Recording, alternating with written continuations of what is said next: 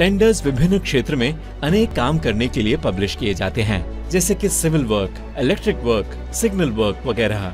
और इसी के साथ माल सामान की सप्लाई और एएमसी सर्विसेज़ के संबंधित टेंडर्स भी पब्लिश किए जाते हैं।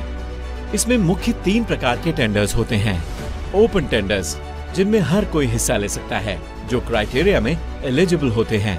दूसरा लिमिटेड टेंडर्स जिसमें सिर्फ़ वही बिडर्स हिस्सा ले सकते हैं, जिनको डिपार्टमेंट से विशेष मंजूरी मिली है और जो क्राइटेरिया में एलिजिबल होते हैं, और सिंगल टेंडर्स जिसमें टेंडर किसी एक बिडर के लिए पब्लिश होता है और सिर्फ़ वही बिडर हिस्सा ले सकता है।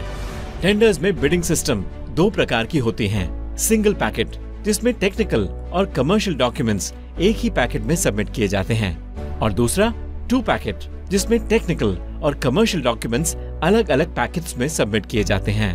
अगर टेंडर सबमिशन की प्रक्रिया ऑफलाइन है तो टेंडर की हार्ड कॉपी आखिरी तारीख से पहले बताए गए एड्रेस पर भेजना ज़रूरी है। ऑफलाइन टेंडर्स तीन तरह से सबमिट किए जाते हैं। Single envelope system two envelope system और three envelope system tender submission के लिए चार प्रकार की जानकारियाँ अनिवार्य हैं। वर्क टेंडर और सप्लाई के मुताबिक कंपनी के जनरल डॉक्यूमेंट्स टेंडर डॉक्यूमेंट में एलिजिबल डॉक्यूमेंट जैसे कि पास्ट एक्सपीरियंस और quality certificate techno commercial document में टेंडर्स डॉक्यूमेंट की कंडीशन के मुताबिक कंटेन एनेक्चर अपेंडिक्स वगैरह। और रेलवे की स्टैंडर्ड टर्म्स एंड कंडीशंस के मुताबिक ज़रूरी डॉक्यूमेंट्स हम नेशनल टेंडर्स डॉट कॉम आपको vendor registration documentation technical stage और टेंडर सबमिशन की हर एक प्रक्रिया में मदद करने के लिए उपलब्ध हैं।